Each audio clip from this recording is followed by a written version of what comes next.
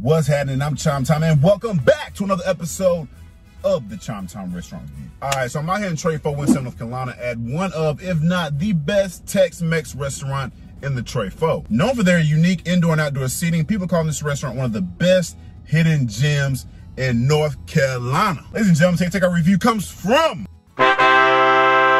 Porch, Kitchen, and Cantina. Welcome to the show.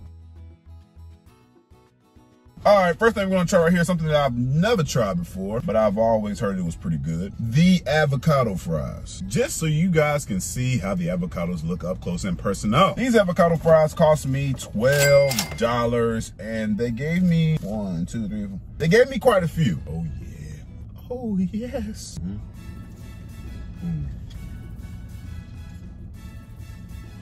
Mm. Oh,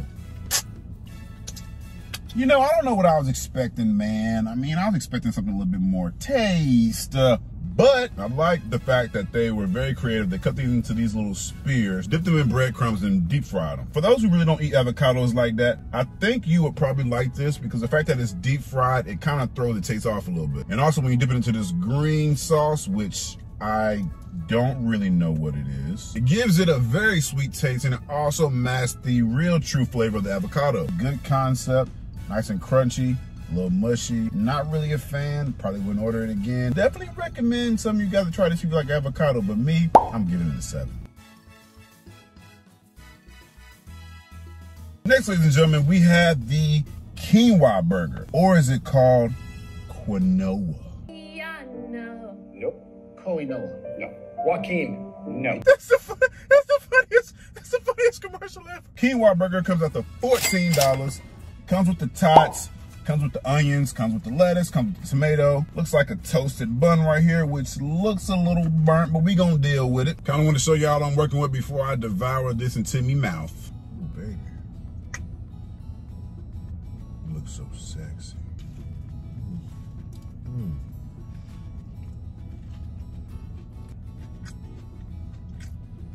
It's all right. This is a panko breaded, fried into crispy, topped with chipotle mayonnaise, pickles, and onions, house-made quinoa and zucchini patty. My bad. This is probably one of the most unique sandwiches that I've ever had in my life. I just would like to know how they managed to fill this with zucchini and fry it with quinoa. For those who have never had quinoa before or have never heard of quinoa before, quinoa, in my own personal opinion, is probably one of the most bland thing that you can ever taste. To get a freaking taste out of quinoa, you have really got to pair it with something that has a lot of flavor. And with them pairing it with the lettuce, the tomato, the onions, the sauce, it gave it a lot of flavor. The only thing I did not like about this right here is that the bottom bun was a little burnt. Didn't really appreciate that. But overall, man, the sandwich was, I mean, it was pretty good. So the quinoa burger, I gotta give it a. Man, I swear I ain't never seen such a fresh piece of lettuce in my life. Last but most certainly not least, we have what they call uh, sweet Pete tacos. I really want you guys to get a good look at this right here. Look at that fried chicken, tomatoes, and onions right there. Look at all that, man. I'm trying to, I'm trying to keep it open for y'all. Louise, look at the size of this mug. Sweet Pete puffy tacos comes out to $16. And man, I gotta tell you, man, this this is, oh man, I rope sleeves for this one. I'm about to go in.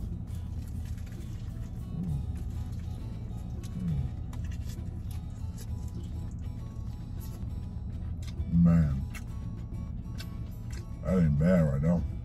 Mm, y'all want to see it? That's how I look when I bit into it. Look good down it. Let me explain this right here. We got jalapenos, we got lettuce, we got guacamole, we got fried chicken, we got pico, we got Texas Pete honey. I mean, we got a lot going on right here, man. Everything that I just named came together beautifully. I mean, it was beautiful. I was a little worried because the Texas Pete honey and the jalapenos I was worried it was gonna be a little bit too spicy, but this was just the right amount of spice. I mean, the tortillas were huge. The chicken is just like nice and bready. This, I think, if I'm not mistaken, is a sweet lime cream. And when I put it on this right here, it, it made everything good. Sorry.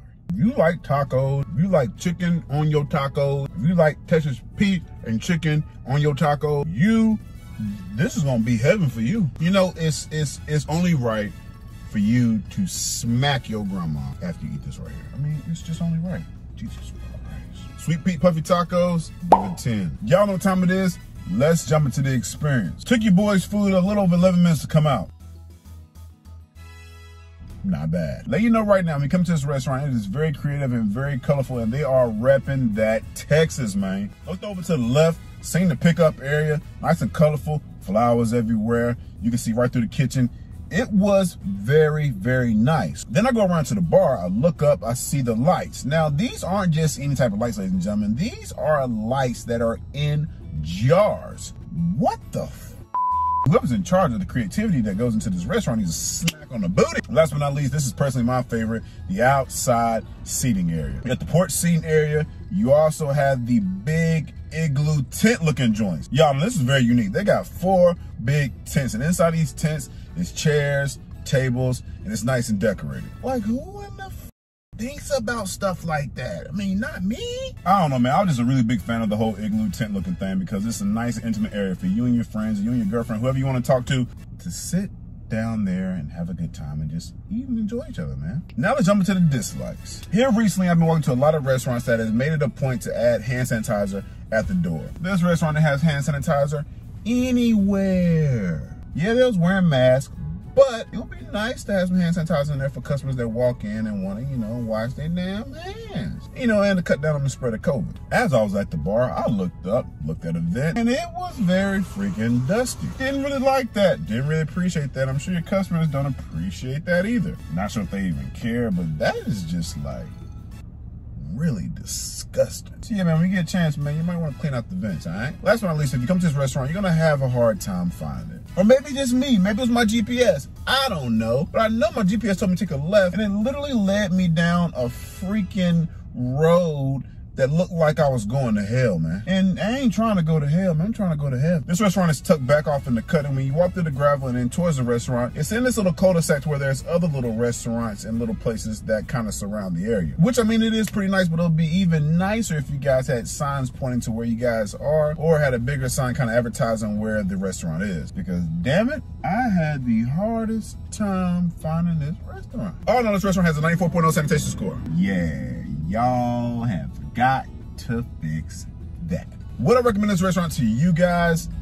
Absolutely. I mean, this food was like really damn good. From the quinoa burger to the sweet Pete puffy tacos, the, the, the freaking avocado, the, the, the avocado fries. Yeah, man, it was all definitely a blessing, and I recommend you guys come here and try it out. For more vlogs, recipes, and content, hit your boy up on YouTube, all right? And also, if you want to submit a restaurant for me to review, hit me up on Facebook at Chimetime or hit me up on Instagram at Mr. Chimetime. To all my fans, I love you guys so much, okay? I really do. Thanks for the support. Be blessed, and I'm out of here. Peace.